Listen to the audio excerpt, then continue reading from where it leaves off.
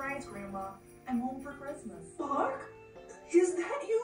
It's a Christmas miracle! I can't believe you left Minnesota to come here for Christmas.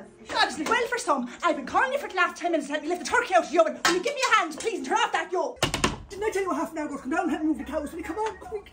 I told you I didn't want perfume for Christmas. I wanted scented body spray. Why does nobody in this house want to have a drink? It's Christmas. This place is so boring. Well, you don't drink at 12 o'clock in the day. It's Christmas.